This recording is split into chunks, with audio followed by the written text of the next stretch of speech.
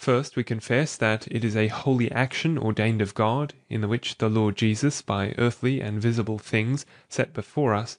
lifts us up unto heavenly and invisible things;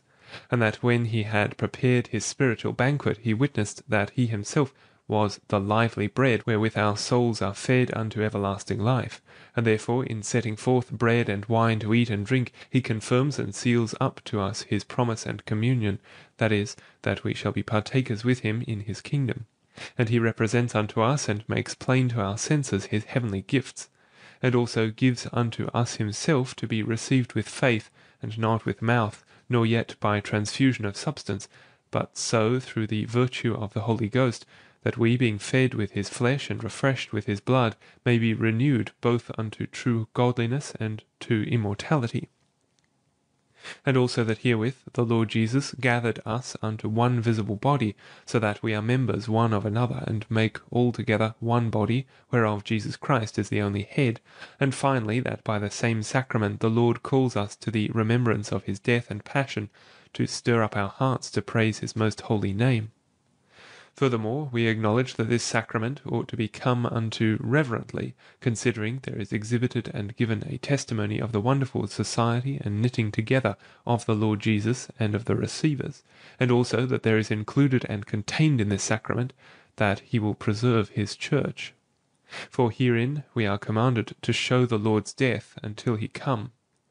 Also we believe that it is a confession wherein we show what kind of doctrine we profess, and what congregation we join ourselves unto;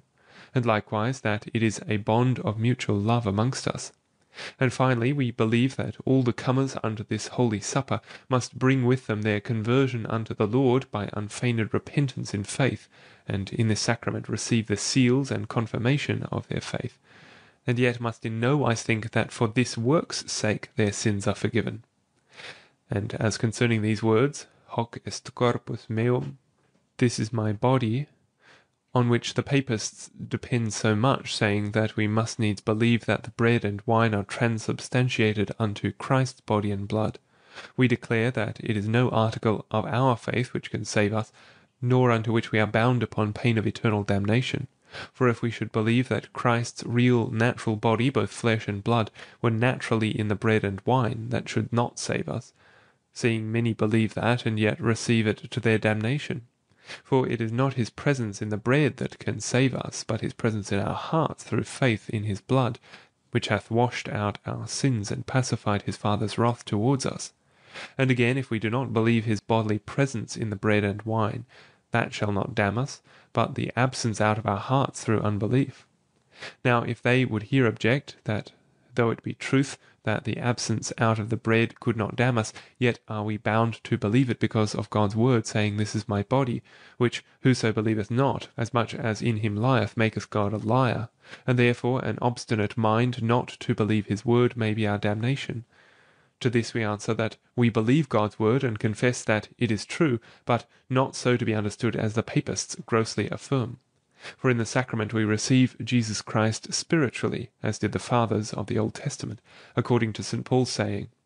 And if men would well weigh how that Christ, ordaining his holy sacrament of his body and blood, spake these words sacramentally, doubtless they would never so grossly and foolishly understand them, contrary to all the scriptures and to the exposition of Augustine, Jerome, Fulgentius, Vigilius, Origen, and many other godly writers.